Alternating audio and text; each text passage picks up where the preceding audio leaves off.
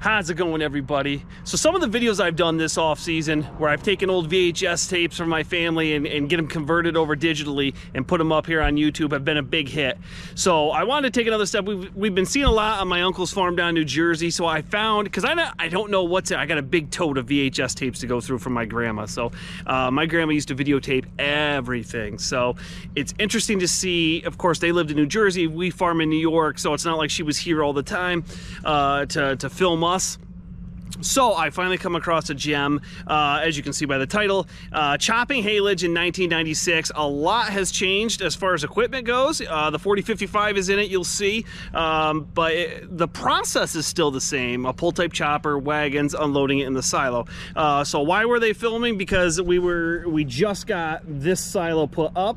We did the high moisture corn, which is behind those two, and then we got the haylage unit put up. There was a wooden silo where that where that silo was right there and the wind started making that lean so we took that down and put a uh, put another Sealstor up but the manure storage was not there. Obviously there was some old corn cribs that were there and since we had the high moisture corn we were tearing down the corn crib so this area over here was a mess. We didn't have the concrete barnyard. Uh, some of the tractors you'll see some tractors that we don't have anymore. So I'm gonna do a, a comparison of 1996 to 2023 so uh, so I got a mosquito coming after me. So anyway, I hope you enjoy.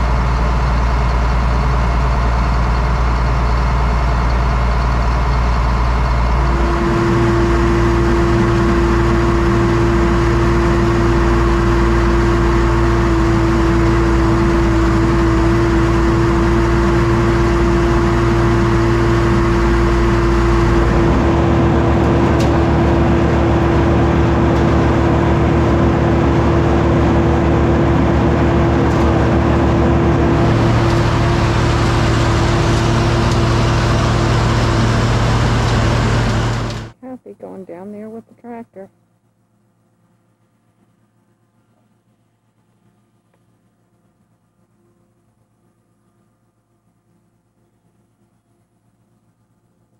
you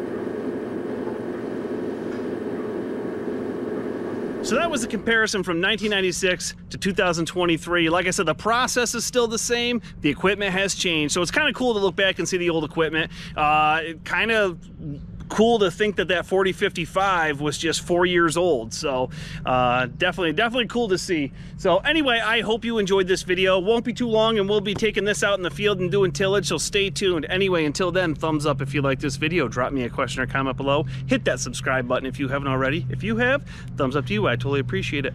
I will see you guys next time. Have a good one, everybody.